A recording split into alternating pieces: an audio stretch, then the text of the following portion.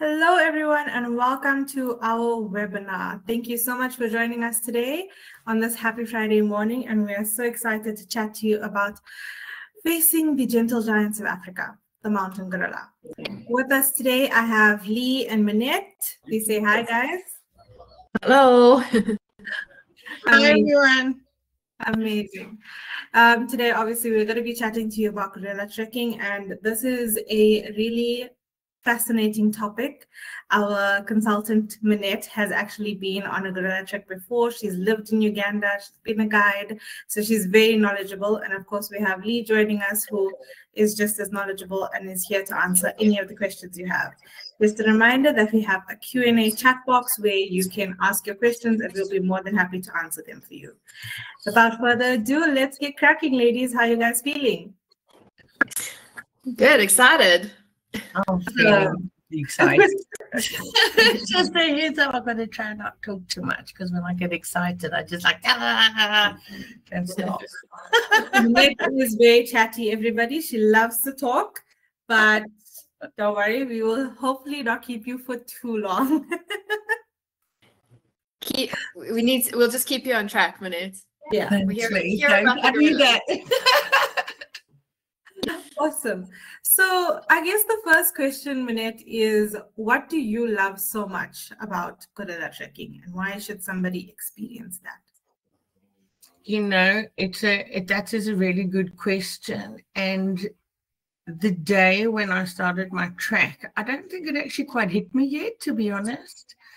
Um, the walk itself is incredible. It's not just the gorillas. The, the I mean, you're walking in a rainforest, but when you see that first gorilla, I, I literally I just got goosebumps. Um, the overwhelming emotion you feel that oh my gosh i'm in the presence of these incredible magnificent animals and it's just like the emotion washes over you because you feel so blessed that you're in their presence um, it's a once in a lifetime opportunity and they are an endangered species and while you have the opportunity and you get the chance in africa do it don't don't even hesitate. Yes, it's pricey, um, but if you can do it, do it. I mean, you know, it's definitely worth it. It's just it, it, the emotions is just incredible being in presence with these guys. It's phenomenal. It's amazing. Um, and what would you say would be your most memorable encounter when you were on a gorilla trek? Like what sticks out for you? What what really sets it in motion for you to be like, okay, cool. This is what I went through. This is what I experienced. And yeah. So when I was on the hike, I was sitting on.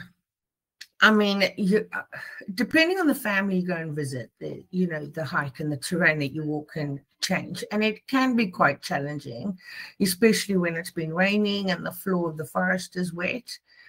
But when you finally see that family, so for me, I was on a on quite a steep slope, so I kind of like had to hang on a tree or a branch just to keep my footing. But I was a meter from a silverback, and it was just the size of those fingernails.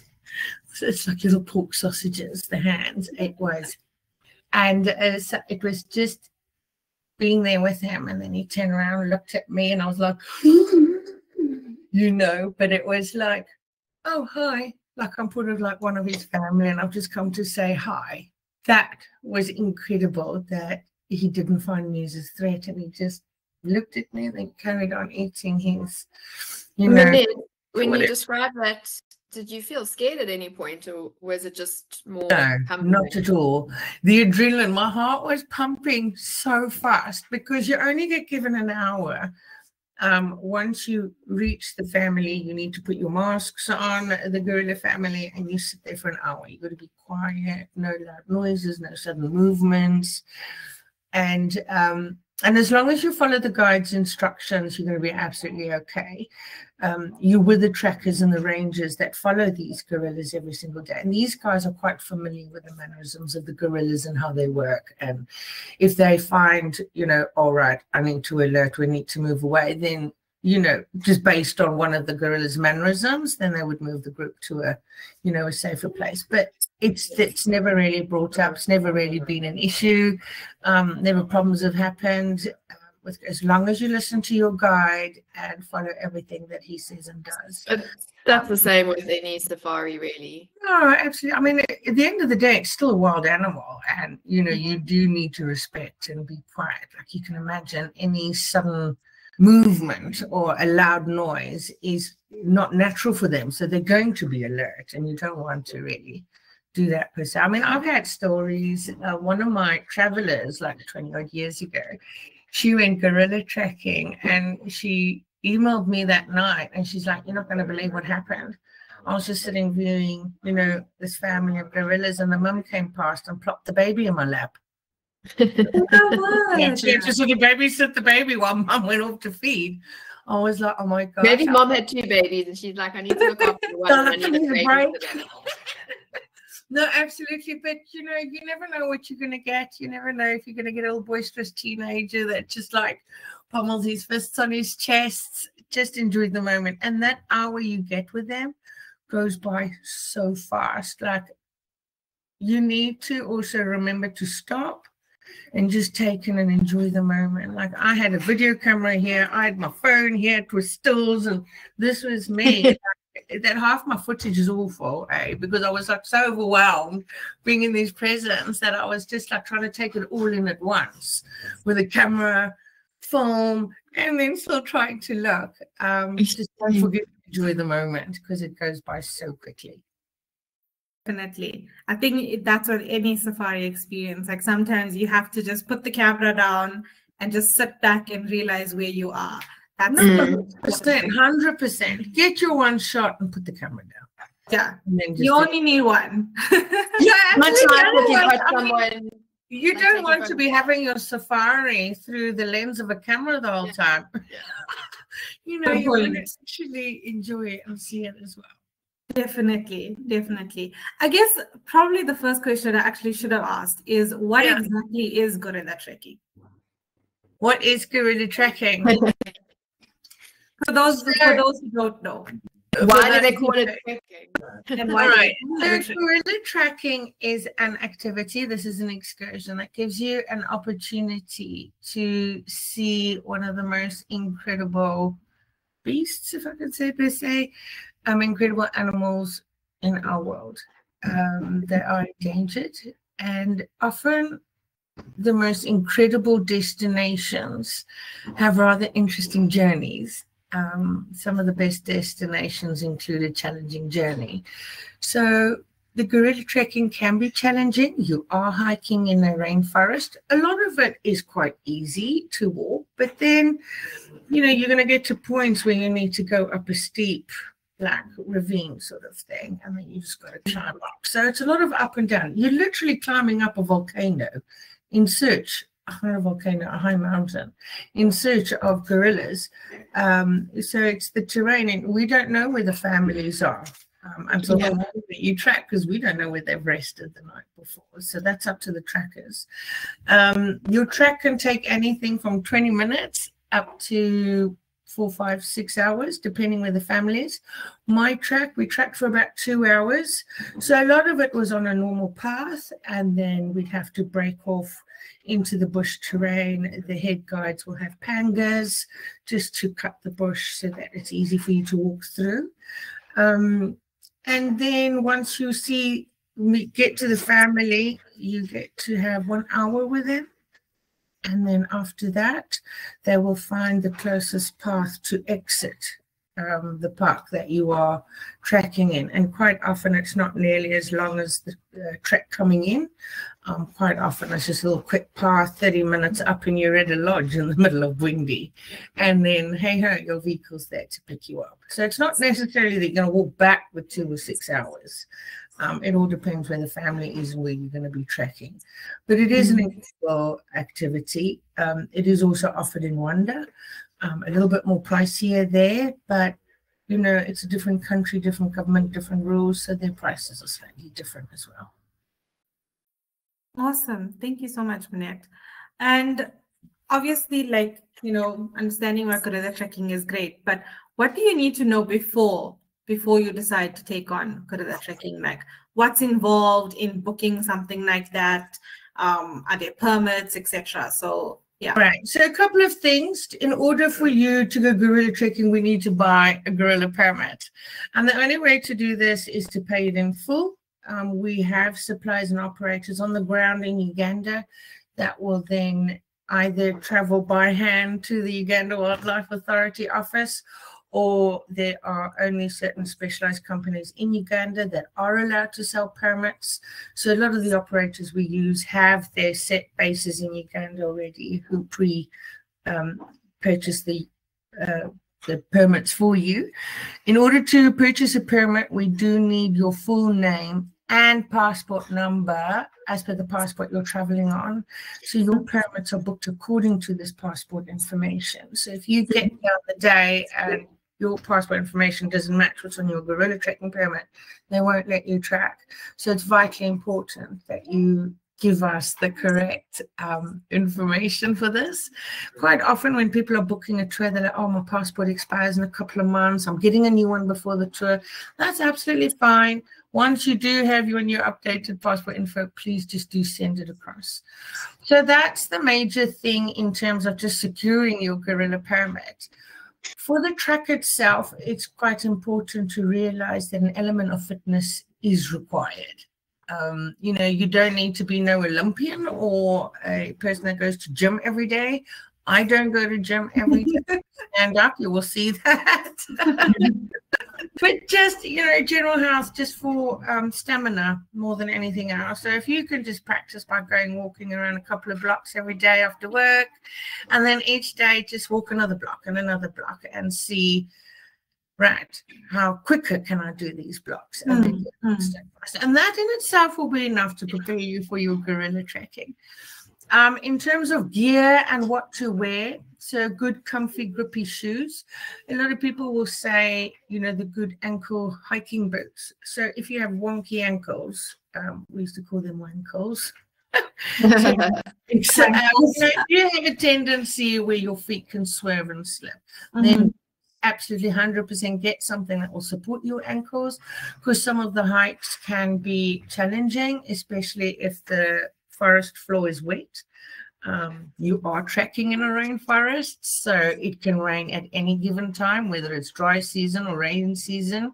The forest has its own um, weather pattern. So if it's going to mm-hmm. rain, you need to be prepared for it.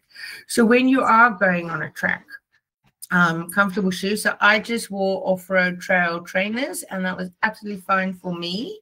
However, if you want something a bit more grippy, by all means, especially if you're doing a longer tour through Africa, if you're going to be hiking Mount Kilimanjaro or Fish River Canyon, use those same boots. It's absolutely fine. Another thing that's really handy to have is gardening gloves. I know it sounds quite random, but when you're walking and you lose your balance, it's instinct just to put your hand out and grab a branch just to like steady yourself.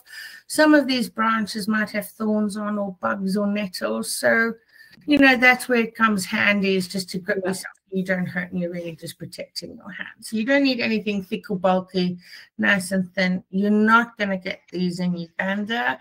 You'll get like welding gloves, big bulky things. If you forget to pack them in, honestly, I didn't even track with gloves, but um, it is handy for those who have um, quite sensitive hands. So that's pretty epic to have. Another really cool tip is just good old fashioned energy sweeties.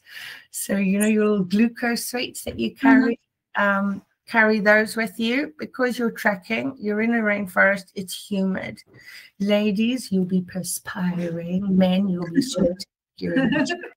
and you kind of need to replenish yourselves, your liquids, as mm-hmm. as um, natural salts in your body because when you're sweating, you're releasing all these salts and you're not replacing it. So sometimes not even water is enough. So definitely water, but glucose so it seriously goes a long way. Um, and then a light rain jacket because it can rain at any time and you'd like to protect your camera gear. So that will be super helpful.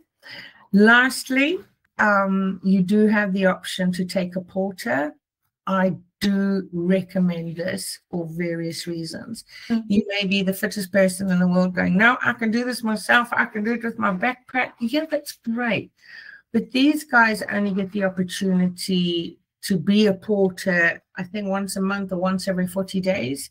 They don't get a salary. So the only income they have is what you pay them to carry your bag for you. Mm-hmm. But they're also there to help you I mean, I couldn't have done it without my porter because he pushed my butt up a really high like ravine thing. There was no ways I was going to get up there without him. I was like, "You got to help me here, buddy." So and it was. You made him work for his money, then. Made him work for his money. Yeah, yeah, shame, poor guy. But I also had them laughing a lot um, which wasn't very good. I think anybody who has an encounter with you will laugh a lot. So, Minette, now you you're talking about the porters and stuff. Are they available at the lodges? Do they wait for? Yeah. So what they'll do is not necessarily at the lodges. You'll find them at the Gorilla Trek start point. So they're all there in the morning. So when you leave your lodge or your camp where you're staying, it's about a two hour drive, depending. So, where I was, I was based in Lake Bunyonyi. So, a lot of overland trucks will be departing for the um, Gorilla Trek from there. It's a two hour drive to the Gorilla Trek start point. Um, so, once you get to the Gorilla Trek start point, you have a briefing about your Gorilla Trek. It's also where you're going to meet your rangers, your guides, and the porters. Um, so, the porters are there. You can choose one and they'll just carry your bag. So you don't need to get one at the camp. You just need you get one at the start of the trekking point. With that said, you just need to make sure you bring enough cash with you for the tipping. And this is often a little bit of a confusing um, topic um, because mm-hmm. you never know exactly how many rangers and guides and trekkers and you're going to have on your track. But I would say one, two, three, four, about five or six you need to budget for. So you have your head ranger, you have the security police per se, you have uh, trackers, and you've got guides. So um, the, each one have various levels for tipping, and by all means, you know, we are happy to send this information through to you by mail because to talk about it here can be quite overwhelming. But just for example, for the tracker, so the guides, the rangers all have monthly salaries, just so that you know, um, but it is customary to tip. For the porter, he doesn't. So he gets about 80,000 shillings. This is equivalent to about 20 $25 for the day. It's really not too much when you mm-hmm. think what they're doing. Mm-hmm. It's the only day you can work, you know, over the next month, sort of thing. And so, um, yeah, it's definitely worth because not only you supporting him and a family, you know, putting bread and butter on that table, but it's also just making your track that much more enjoyable. So, um, also, I was just thinking of something because you know, like permits, they only issue a certain number of days, and you certain Correct. number of people in. So, how does that work? Extra people, like, do the porters and stuff, because obviously they're not buying permits, do they get like certain access because they're local to the area? No. So what happens is they don't have to pay naturally, but they're only there to help you on the walk. So when you so they stop. Yes. Point. So when okay. the trackers have found the gorilla family, you kind of stop, you put your mask on. Um, so my tracker held my bag for me, and I just went to the family with my camera, and they stayed back. So it was only the trackers, the head guide, and us as eight people mm-hmm. that were, were, the gorillas. All the porters and the others stayed at the back. And um, what's the difference between a tracker and a guide? So your guide is usually a Uganda Wildlife Authority ranger guide. They've studied, they have qualifications. Um, they also give you information on the fauna and flora of the area, you know, so they're guiding you through the process.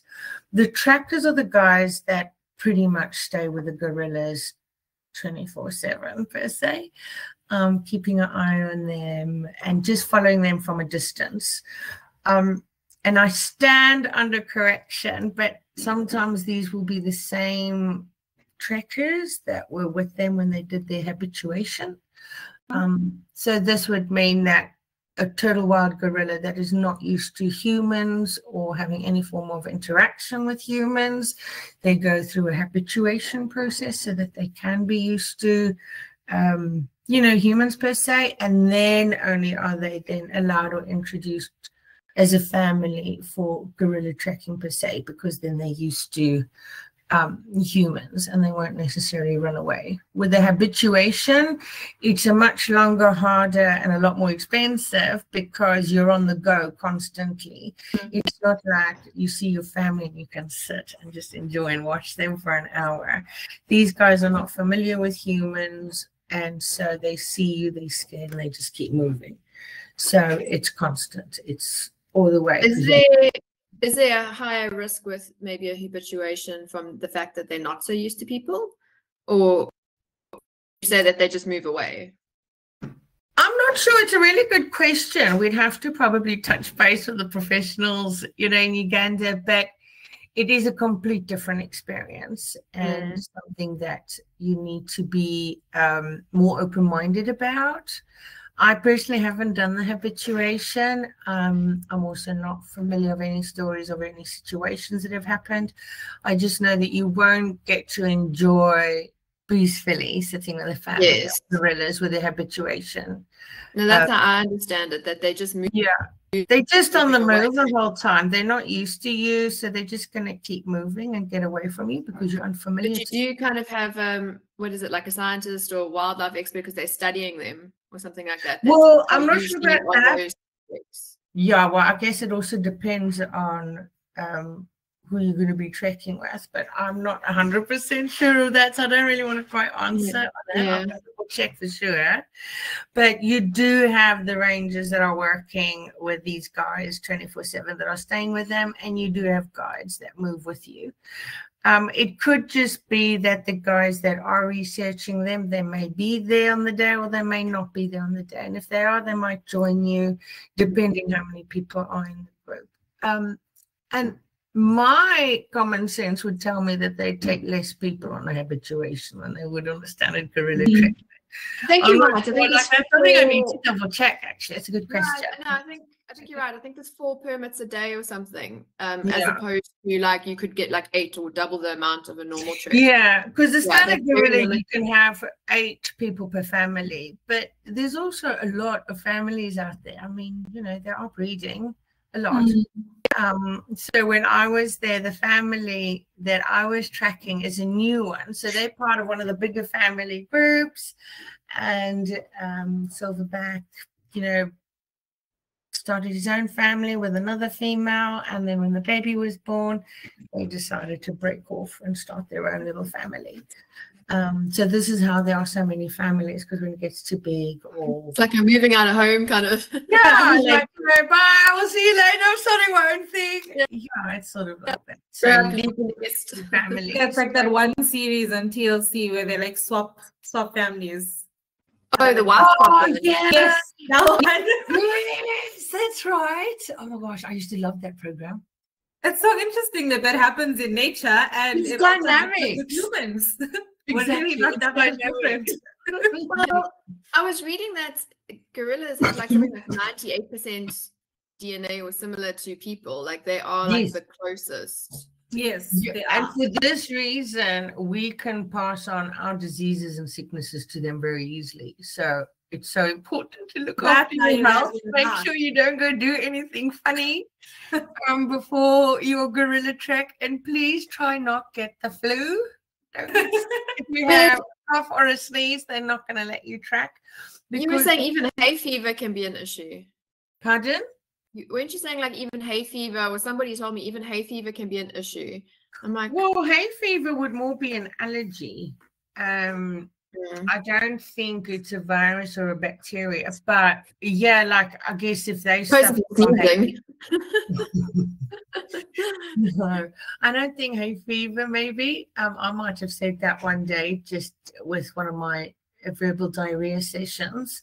but um, no, it's mostly that we can transfer sicknesses and diseases to them quite easily and they can catch it. And the same with the chimps. So um, it's important. That's why we have to wear masks when mm. you're in the presence of the gorillas. But even if you have a flu, they won't let you track. So I had a lady on my tour who, oh, I think she just got a case of the African belly. Um, uh, 24 hour bug sort of thing. And it just happened on the day she had to track. And oh, you can't though if you that sick because you'd be dehydrated. And... Well, it, it would have been a horrible and an awful experience, but in this case, she actually hired, um, and this is possible. You can do this. Not a lot of people know it, but you can actually be carried so you don't have to walk. So they put you in a chair sort of thing, and you are carried by four men, sort of pretty much up the mountain. Oh wow! Did she did she do this that? needs to be prearranged. So even people who are paralyzed, um, oh. there are opportunities. It doesn't mean you can't walk, that you can't hike. It is possible. Um, pre-permission needs to be gotten. It is expensive, but it. I mean, if you can and you have the money and the budget, freaking do it why not? Mm-hmm. Everybody can. Yeah. yeah. Wow, that's amazing. Like, because you always think to yourself, "Oh, I can't go on a safari." Like, if you are, if you are, you know, paralyzed, or if you've got something. Yes, there are options. Yeah. I mean, not a lot in East Africa, mm-hmm. but in Southern Africa, oh my gosh, there are companies that specialize um, mm-hmm. safaris for anyone who's enabled on any level. Um, mm. I've actually operated one. I ran a trip where the truck was specially built to take wheelchairs. It's got a oh. little put it in, zzz, the wheelchair goes in, and there were like little special locks where you can lock your wheelchair in, and it's super safe. And off we went. It was amazing, and it's just so beautiful being able to you know, offer safaris for people who thought they never could either. Mm-hmm. Um, we're going off another topic there. We got to go back to it's like, but yeah, like there's no reason why nobody can't come. yeah. Um, we might be a little bit more behind in terms of uh, tools and accessibility like UK and Europe is phenomenal for wheelchair users. Like they can do skiing, scuba diving, the whole katuti. We're, we're getting there. We're definitely getting there. Lodges are definitely wheelchair accessible. A lot of them are, not all, um, but anything's possible. There's always a way. I heard you mention chimps. Could you hmm. explain yeah. what the difference is between gorilla trekking and chimp trekking? Because I assume you can't do them both on the same day. No, I think. sorry. Crikey, I'm not going to lie, Mishka. I think if I had to do the gorilla and the chimp trekking in one day, I don't think I'd be able to walk again. Only because I was unfit. I wasn't fit enough. Like, you know, my um, the stamina part.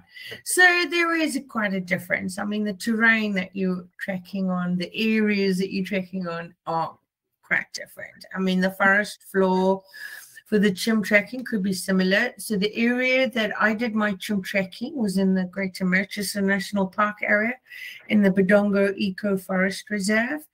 Incredible, very humid I found it more humid than the gorilla um, trekking. Maybe it was just the day and the season, anything like it can change.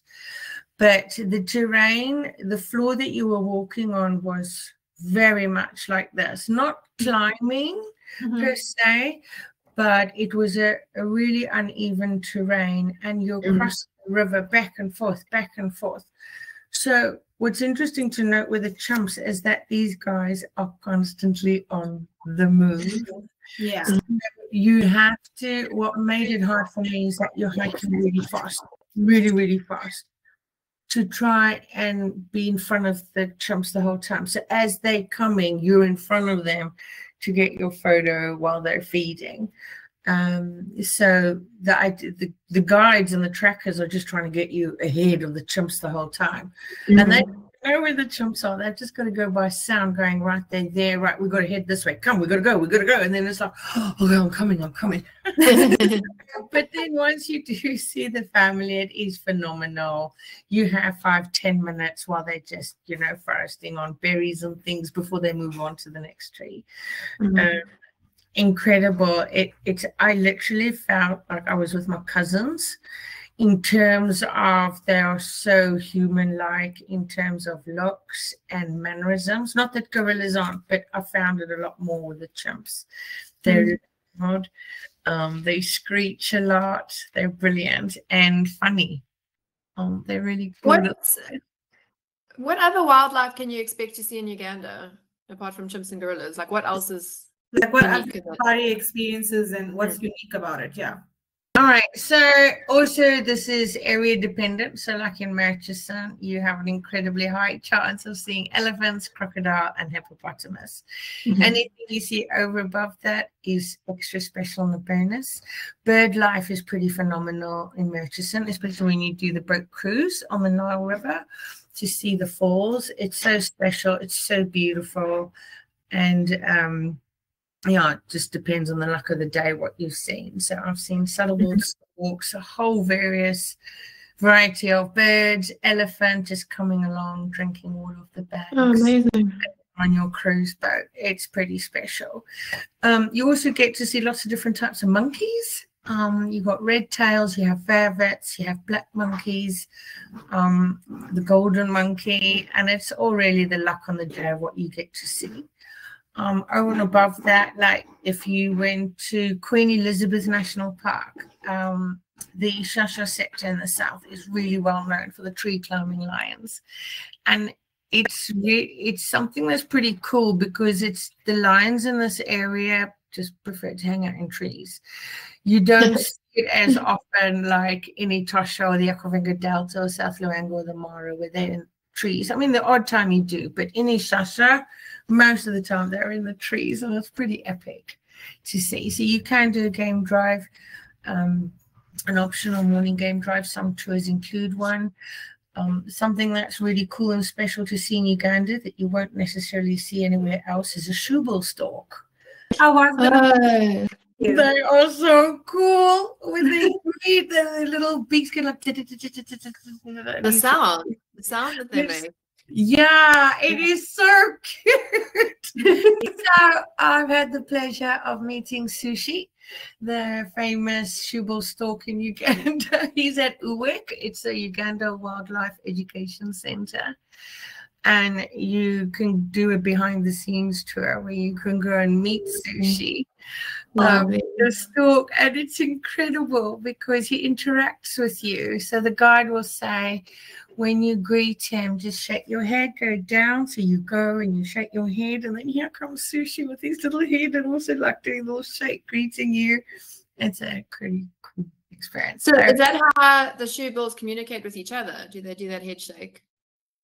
I think that's how they greet and talk, and yeah, it's a good thing. Um, they also like to be something that I remember with the shoebill stork is that they always like to be on a higher spot, so they would, could quite happily jump and stand on your shoulder like this tame guy, and that could be quite hurtful. They could because he's because they're quite big. Those claws, man, claws. so, look at this. Doesn't happen like so much as you have animal interactions, but this is a you pay for it at the Wildlife Education Center. You go on behind the scenes, and they mm-hmm. might have. Oh, I mean, like um, animals who are poached for argument's sake, and there's babies you know, of the mum that was poached. Then it goes to the education center, to the rehab. They rehabilitate them and eventually will then release them back in the wild. So they do a lot of incredible work with conservation, especially giraffes up in Murchison. Um, on that note, interesting fact there's only one place in Uganda that you're going to find zebras. Okay. It's in Lake Mburo. Okay. Is yeah, interesting? I can't find them in Queen Elizabeth or in Murchison. Do you have a reason for that? Like, I don't know. Sorry, I told you I'd be lying. she, knows, she knows the fact. She doesn't know the reason. yeah, just just the fact. It's just a but, fact. It's the interesting you know, fact. I don't know about Kidepo. I haven't been there, but um, when you're talking about the yeah, conservation, it's just the only place you'll see zebras in Uganda is Lake Mburo. That's interesting if for people that haven't seen, but I think once you've been through the rest of East Africa, you're going to have seen quite a few. oh, no, you'll be fine. You'll be seeing a fair amount. um, but Minette, you know, you're talking about the the conservation and yes. um, and the and they rescue the babies and stuff. It just it brought back um, images, and I think we see it sometimes. We obviously share videos with the Sheldrick Trust in, in Kenya. Um, you know, oh, and I think like if people get the opportunity and they're in East Africa, that's also something they 100%. I think if I had to go to Sheldrick, I won't leave. Um, I have a bit of a bleeding heart when it comes to that, and I'll be just like in there in the thick of it, sleeping with the baby rhinos or elephants or whatever it is. Oh. You know, give them all the love and the care that they need because they've just been through trauma. I would, but I'd be permanently broke if I did that. So. Um, but yeah, it's incredible what they do. Speaking of the Sheldrick Trust, um, there's and I'm I'm glad you brought it up, Lee, because I'm going to use this opportunity to talk a little bit about them. That you know you need to pre-book um, your activity to go there. First of all, the Elephant Orphanage, um, and if you when you do that, you do it direct through the Sheldrick Wildlife Trust. Don't do it on no offense to the trip advisors or you know through some safari companies offering it. No, it's a scam. It's not allowed. You are only allowed to book it in one place, and that's direct with the Sheldrick Wildlife Trust. I mean, I know on TripAdvisor you can, but it's not valid. You're going to get mm-hmm. them, they're going to turn you away. And it's very important to pre book because uh, visiting hours to see the Ellies are only at a certain time of day. It's like a two hour slot, and they only allow a certain amount of people. So it's vitally important to pre book the activity to visit the elephant um, orphanage in Nairobi. It looks it looks really to a third party. You will never be allowed entry. It doesn't matter what the third party will say to you. You can only do it direct. It's good. It's a good tip. Scammed. Yeah. Too many people being scammed. Yeah. Just going back on you know conservation and just giving back to the community. You've yes. mentioned to us before about Angel Wings, I think it was called. Oh, yeah, Angel Wings. So, look, in Uganda, there are hundreds, hundreds of organizations, and not just Uganda, but in East Africa and Africa in general. Um, now, what grabbed my heart with this little organization, Angel Wings, is that it was started by orphans, Uganda orphans, oh. run and managed by. Lovely.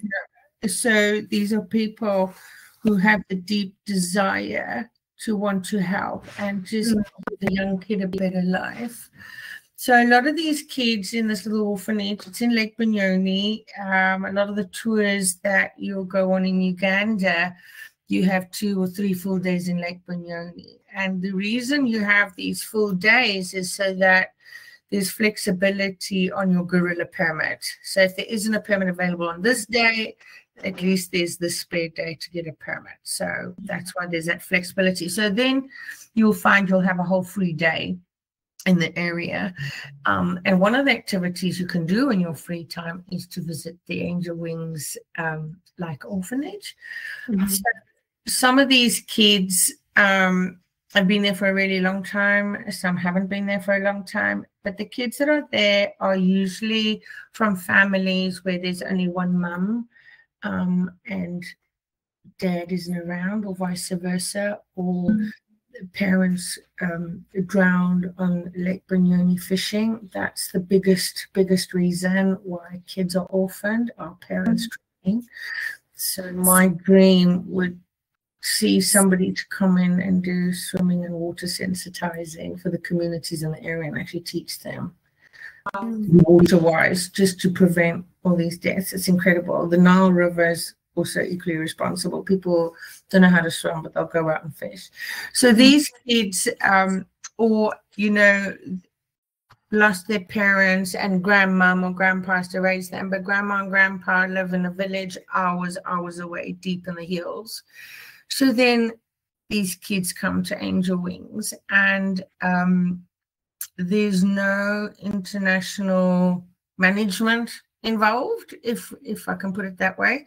They mm-hmm. do rely 100% on donations, but they don't sit idly and beg. They actually go out and make it work, and mm-hmm. they send you feedback with how things are going. And so I donated money and over a year, once a month, I would get a WhatsApp going, this is the update, this is what's done, this is where your money's gone, this is what we've done this year, blah, blah, blah.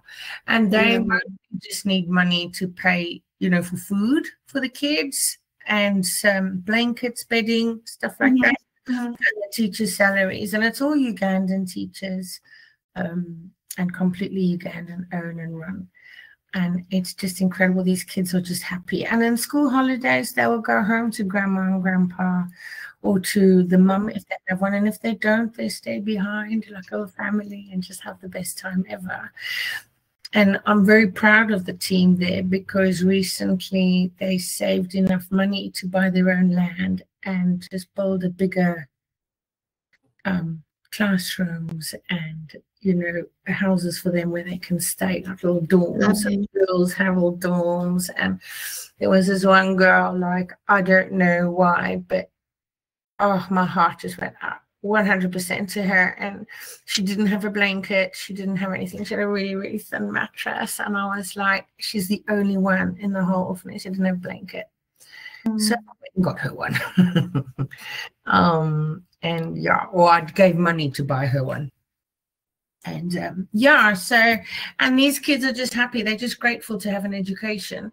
Um, unfortunately, in Uganda, well, I guess it's from the old days, but not every child in the family will get to go to school.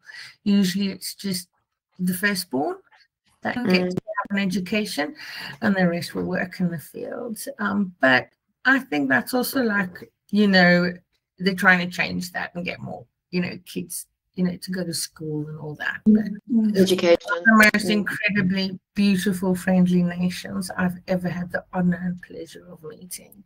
100%. Yeah. You've always said that, like, you know, everywhere you go, it's very like community based. Everybody yeah. is a local and they're super super friendly. Like everybody just oh gosh like you know you'll be walking around someone says hi oh come in for chai. Come for you know? And one thing to know is if you go and visit a ugandan family or someone at their home and they offer you something to drink or eat please don't decline. It's really offensive. But that I feel like that's anywhere in Africa because yeah, except the cup of tea or the cake that they're going to give you, even though it may not taste like the best thing you've had compared to home. For them, it's a huge honor that they are able to provide you with something so that you don't leave their home with an empty belly.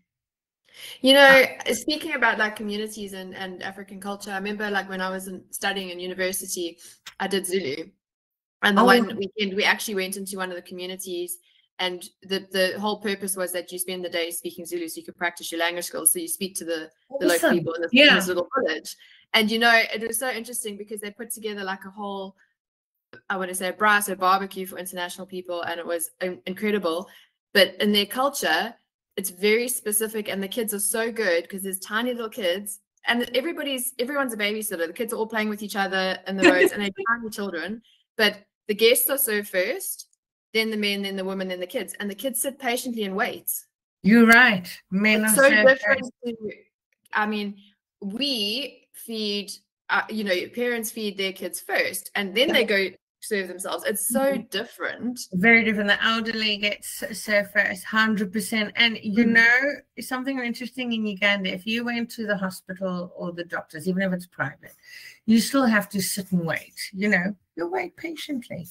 And they will always, regardless who got there first or last, but the elderly patients are always helped first. That's good though. They need to be. Other people you can sit there all day, even if you got there at 8 a.m. Hmm. If there's elderly people, they will be seen to first, and you can wait until 5 p.m. whatever. It's like there's a lot of respect for elderly people. Yeah.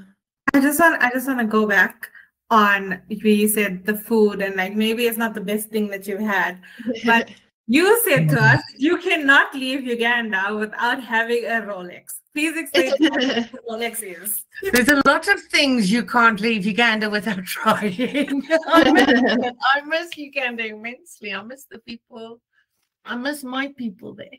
But um, no, a Rolex is a pretty cool street food. Um, and no, it's not the watch. It's it's a slang for rolled eggs. So what this is is a chapati um, that's been deep fried. For so those who don't know what a chapati is, it's like a flatbread. I guess if you want to say a tortilla, if you want to say like a naan, not quite a naan bread, it's flatter than a naan, but it's more like a deep fried tortilla, you know, wrap if I can put it that way. Mm-hmm. And then they make a Spanish omelette. And you can choose if you want to have two egg omelette, three egg omelette, and for every egg you add on, it's more money. But it's quite cool. You can choose how much protein you want. And then they'll chop up a bit of cabbage and green pepper and tomato and onion, bit of salt, pepper, whack it up, make a little omelette on the side of the road on a skillet over coals. It's gorgeous. And then Spanish omelette goes in your the the chapati and it gets rolled up. Um, it's beautiful. It's just that's fast food, that's street food. You can get chicken on a stick, meat on a stick, and it's meat that's cooked over the coals on the side of the road, and it's just beautiful. There's no fancy marinades or spices, just salt. And when you're traveling and you're so hungry, you don't even need to be hungry. It's a long day. Oh, I want a snack. No, no snack is going to taste better than a meat on a stick on a road. But it's that um, open fire, you know. Like when you cook on like that kind of fire, it the, the, the smokiness of the barbecue. Oh, there's something about it. I think it's an African thing. I don't know. I've had but the other thing you need to try in Uganda. Sorry, I might be biased yeah. here, but G nut sauce. It's next level. It's next level. All this is is raw ground nuts that's been grounded into a paste and then pretty much cooked like a gravy, really. So it is savory. It's a savory dish, although when you taste it, it's got an element of sweetness to it. And this you eat over your potatoes or your rice. Um, and it's an incredible, rich protein, beautiful sauce. I'm sure everything's really now I want G-nut sauce. it's the only thing my daughter misses is G-nut sauce. I want a few oh. other things, but yeah. I'm sure everything is really fresh though, like the produce and everything, like the fruit. Oh, I can just imagine oh, the, bananas. It's not the bananas, the pineapples. They're juicy and sweet, sweet, sweet. You know when you have a, you eat a pineapple here, like there's a bit of a tang, you know, and mm-hmm tongue like yeah there's none of that there there's none of that like you know when your tongue gets sore or whatever it's not and it's huge like uh, I, I, would say, I would say um, we get pretty close on on the coast I'm on because the queen pineapples that we get are well, like this is what you were saying to me the other day. So I was like, right, I need to make a trip up to Durban to the coast. Yeah. I just you have to go. That's the Natal has the best fruit, in my opinion. Like when you well, get this... a lychee off the side of the road in Durban, it's the well, best you'll ever have. Yeah, so the fruits and stuff like in Durban, I would say similar what you're gonna get in Uganda. Um, but the flavor in Uganda. Maybe it's the humidity. a banana here, a banana there. It's got so much flavor. It's beautiful. Yeah, I think it's the humidity and how how it's grown. It must be the climate that's just right for it. Because and also saying, very rich, fertile soil. I mean, mm. it's quite a lot of volcanic. Um, there is a bit of volcanoes in the area, so there's a lot of rich, fertile soil of that. And um, yeah, and they have a lot of rain. I think um apart like just thinking off the top of my head, apart from um permits and stuff, people traveling to Uganda obviously need visas. And I know we discussed this quite a bit. And, yeah. Um, how easy is it for most foreigners? It's really easy. Um, best is to pre-apply for your visa. You get an e-visa. You just go on the Uganda immigration website. Um, some people do get challenges when they're trying to upload their documents, and that's simply because it needs to be condensed. Um, so make sure when you upload your documents, they are of the certain size that they are required you, otherwise it will be rejected until it's the right size. But if you have problems, just give us a shout you know, we can. I think we've we've done so many now with that that we. Yeah, Lee, you and me, we've done this quite a bit. Hey? Helping guys out, and then of course it does help just having friends on the on yeah. the ground and, that and side advice. And it's so funny because it's the one thing that people do struggle with is resizing the document properly. And when they send them through to me, I now know as well, like because we've had this discussion. I resize yeah. it in the back and I'm like, load these, and then they go oh, through. Yes. Yeah. Mm, I mean, remember when the immigration lady resized it for us? I was like, She helped us. She helped us big time because we just without that woman, I don't know. She's she's incredible. Yeah. She was amazing, yeah. and and with that, Uganda obviously um now with Kenya changing to electronic ETAs, um, you can't do that East Africa visa through them. So you have to still do it through Uganda if you want to go to Rwanda. Based on my knowledge, it seems that you can still get your East Africa visa. Um, it no longer is applicable for Kenya. So it's just now Uganda and Rwanda. So when you get your East Africa visa, you need to apply for it through the country that you'll be entering in first. So in this case, most of the time it's Uganda. So you just pre-apply for your East African visa, and this will give you access into Rwanda as well, and back into Uganda. Um, and having, pardon? I think it's worth it, giving the opportunity to go into Rwanda for the day trip. Because if you are required to, to have a visa for Rwanda in general, then yes, definitely get it because then when you're in Lake Bunyonyi and you decide you want to do the day excursion to Rwanda, you don't have to stress and worry about you have it already. Um, you have the visa. Some countries can get their visas on arrival in Rwanda and some don't need visas. Mm. That's the South Africans who need to pre-apply. Um, although someone in Rwanda was trying to argue with me with that, and I was like, well, I couldn't do it because I don't have a visa. So maybe things have changed. And that's another thing is that visa regulations change so much. I mean, for mm. example, Malawi has changed their regulations three times in the last 12 months. So it's, you know, to keep on top of it, we do try our best, but ultimately, you know, it is the traveler's responsibility to make sure that you get in your documents. And you know, saying that there are in each country um, there mm. are embassies but there are also visa agents so there is a second backup to check. Like we can look at something online but maybe the information hasn't been updated. So well, if you're this... getting the information from the source you're better off no absolutely but you've also got to be really careful of the source so that you are yes. so in my opinion the best source is your local embassy mm.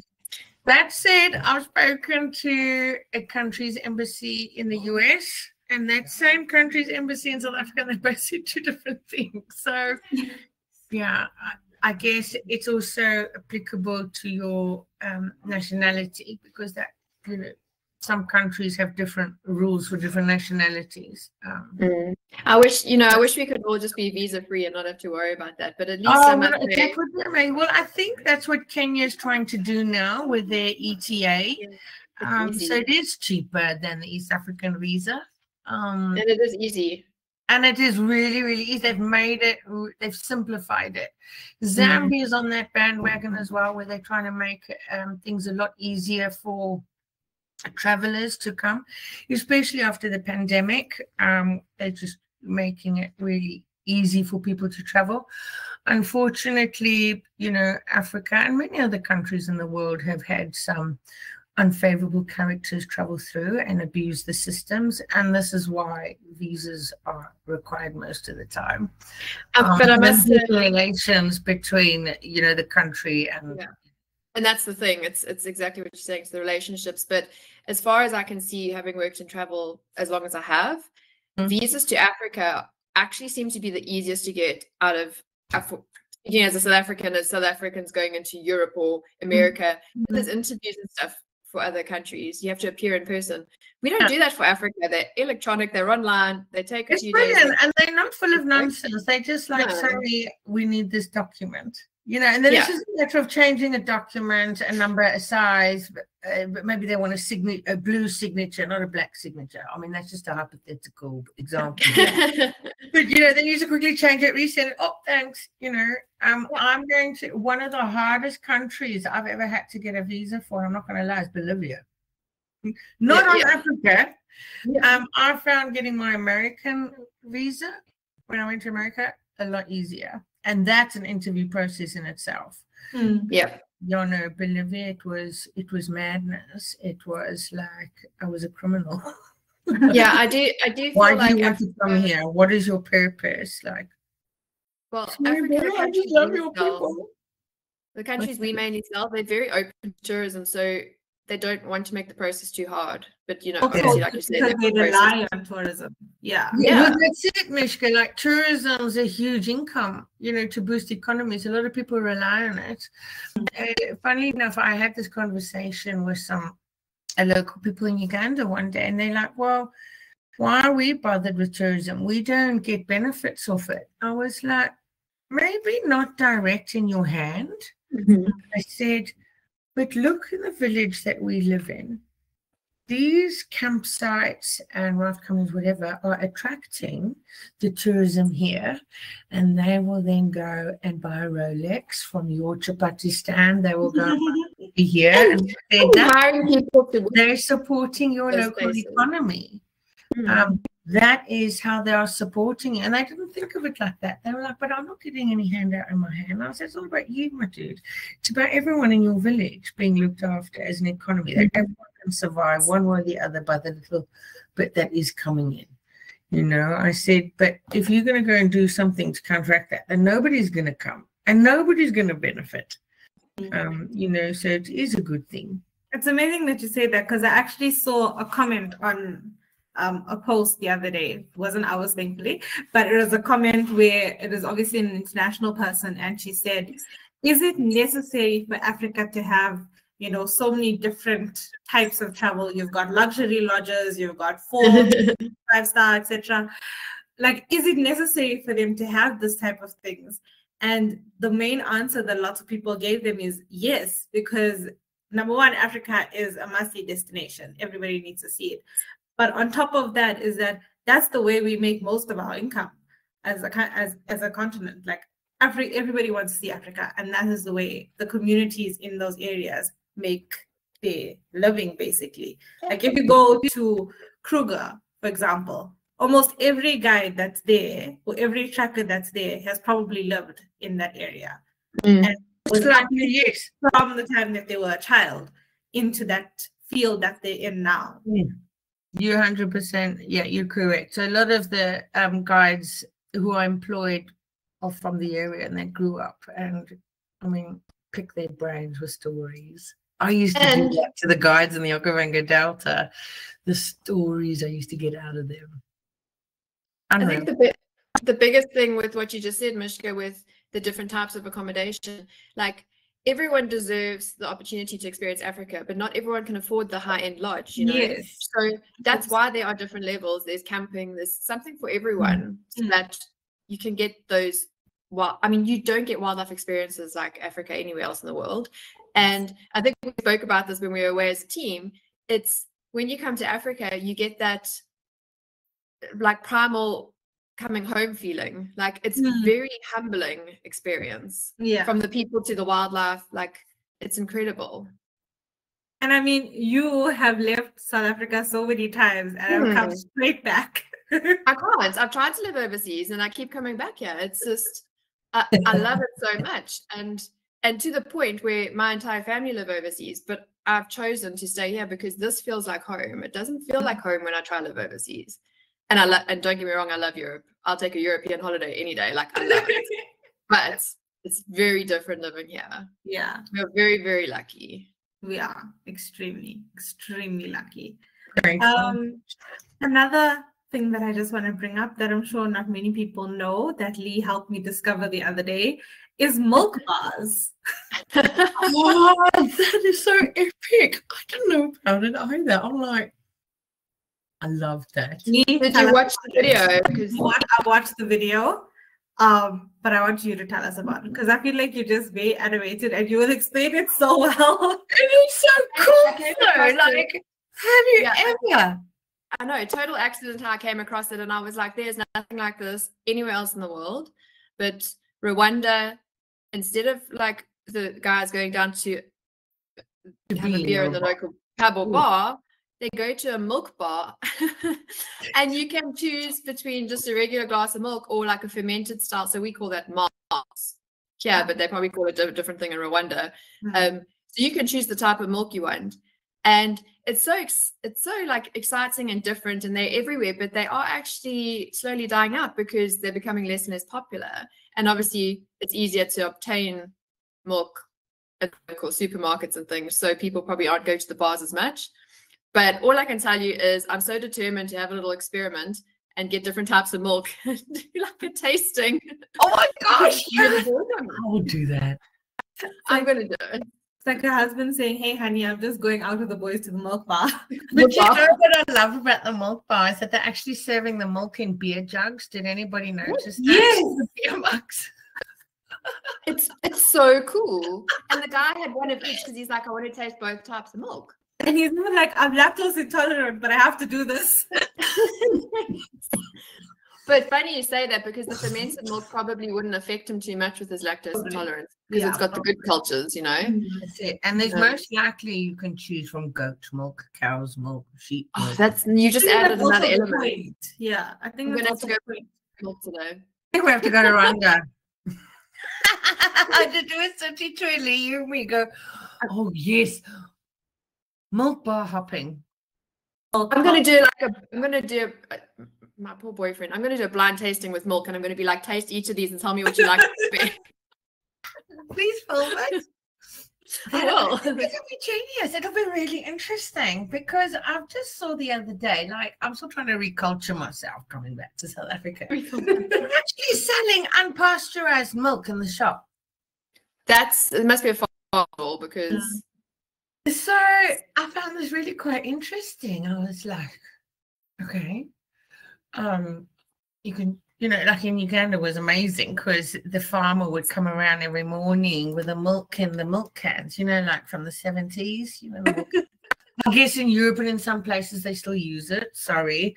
Um, Uh, but yeah, he'll come on his little motorbike with his fresh milk and then pour it out for you. And then, you know, it's the fresh and then the cream that sits on the top of the milk and it just sits. Fresh milk is amazing. Here in the shops, I just don't know what's all in it. So I guess yeah, that's a good point. Let's go to Rwanda. Milk tasting is totally going to happen. Totally, we're making it a thing.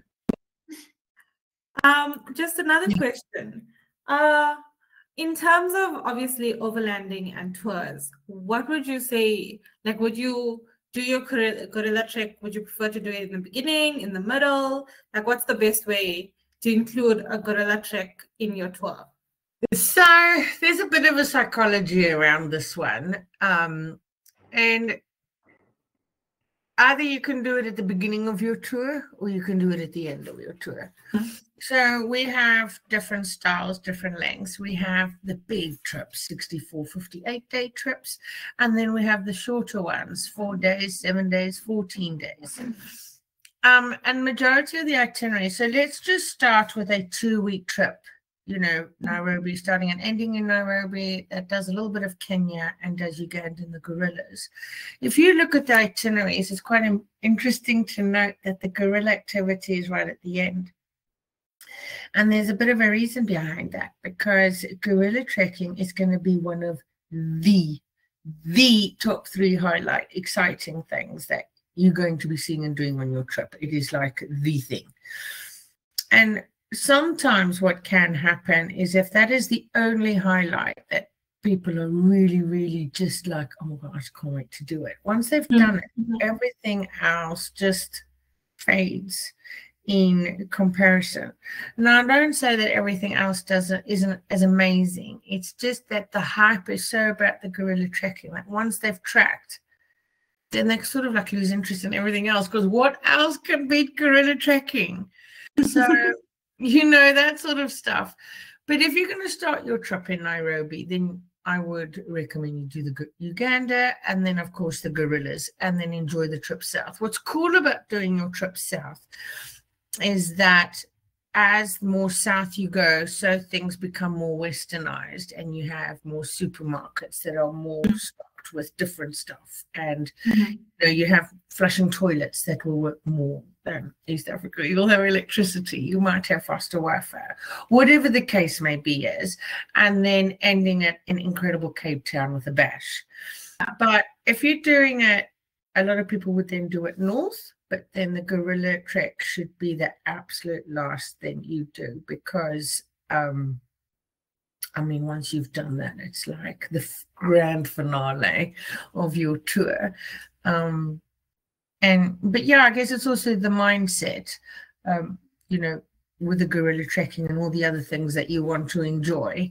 But the other thing to, you know, that probably would contradict what I'm saying now is that you also probably want to just do the gorilla trekking first before you go, you know, spraining your ankles or getting yeah, sick yeah. or something along the way that would then prevent you from doing the trek. So if you started your tour earlier, you went Fish Canyon, I don't know, you climbed Kilimanjaro, you slipped, you sprained your ankle a week before you're supposed to go gorilla trekking because you did Kili first. In that case, I would do gorillas first and then do Kilimanjaro. If you do, you can yeah. get somebody to carry you, maybe. well, yeah, if you have like a thousand dollars lying around for someone, go for it. But you know, Minnie, it's like it's so difficult to say because I think some people who haven't experienced some of the other things, it really wouldn't matter what order they're doing mm. Like mm. I had time. It's it's the mindset, I guess, you know, yeah. and it also depends like what you want to get out of your tour. What is it? Everyone has got their own little agenda going on, and everyone's got their own little reasons for coming out. You know, exactly. Um, um, I've had quite a few women and men having a midlife crisis that just ended their marriage, sold up freaking everything, and decided to travel for three months. Look, I've had quite a few of those. I'm not going to lie.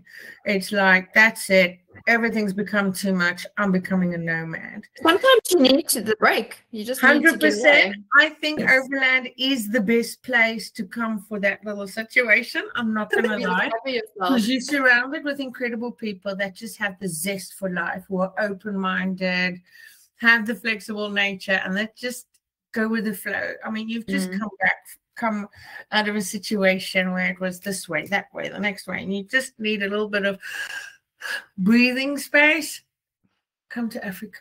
It will heal. One thing is you may never leave um, when you come to Africa. That has happened before as well, where people are like, oh, I just need a break. And then they just never leave. Okay. I, I, we're very welcoming people. It's like a little bug against your skin, and then yeah, stays with you forever. It's a love. It's a it's a, it's a love every love relationship. If you come to Africa, just know it's a start of a very long, expensive addiction because you're going to be coming back and coming the back. number of passengers I deal with that when they get home say, are we planning our next trip to here or to there or next time we want to yeah. It's so beautiful. You know, all the time. It's the best for me. That's the best because I'm like, yes, the best time. Like uh, when they come back, like it's a good feeling. Biggest compliment. It's it's it's such a good feeling. Like I'm I'm like a kid in the candy store. um, last question. It could be answered yeah. by both of you. Um, what's the most interesting, compelling, inspiring story that you've had from a past traveler who's done a gorilla trek? or any sort of trek? That's a good one. I was actually going to say earlier, I had a client that did a gorilla trek. Um, and and elderly clients, elderly, they, I mean, I would say they're probably not at the fitness level. I think they walk enough, so that was mm-hmm. fine for them. And their highlight or her her highlight from their trip was seeing lions in the Serengeti but just because the vehicle got so close to the lions. And I think she just really loved lions, mm. you know? Mm. So like that was such a highlight for her. So I that's what I was saying when you're saying like it depends on the person and how open they are because it, some people are obsessed with elephants. And I mean, you come to Africa, you're going to see a lot of them. Like if you go through Botswana and you you're going to see a lot of elephants. But yeah. is one elephant too many? No, absolutely not. They're amazing.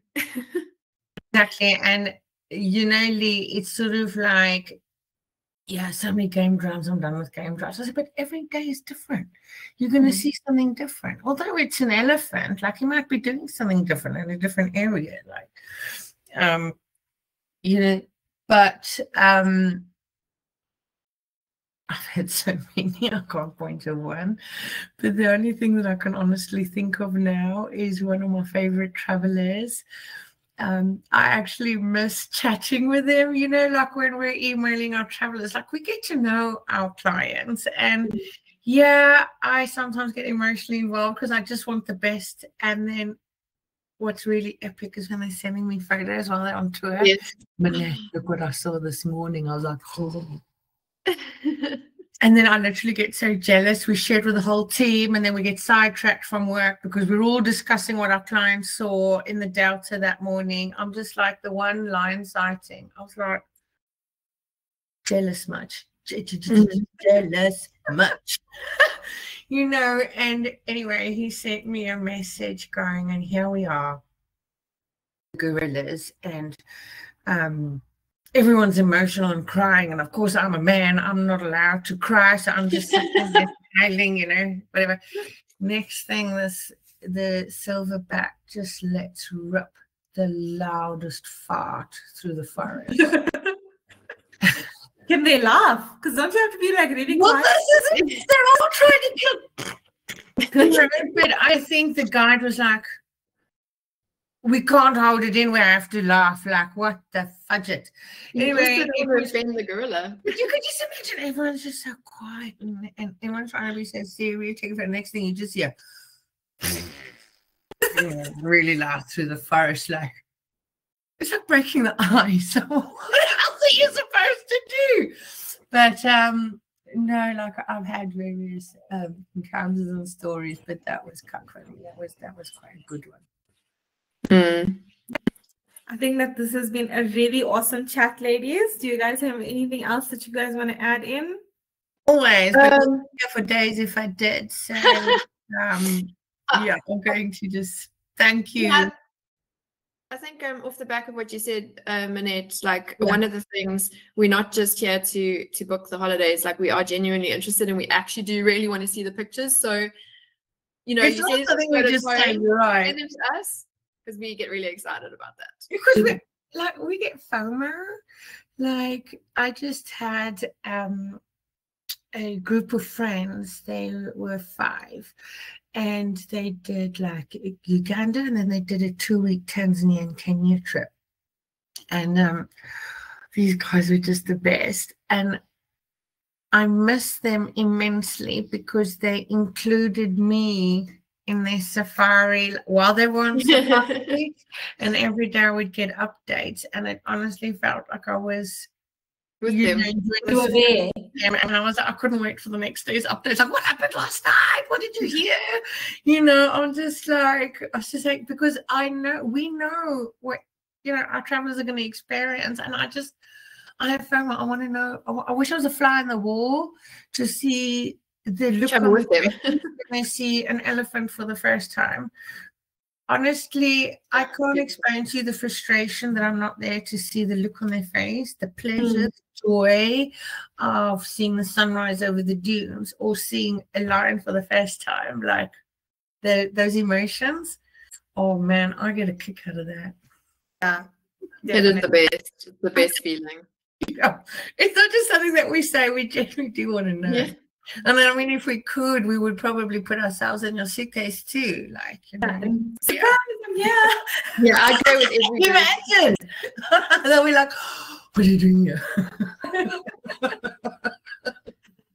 cool. Last thing that I just want to touch on is that we do have Black Friday deals that are still valid, bookable until I think what the 2nd of December.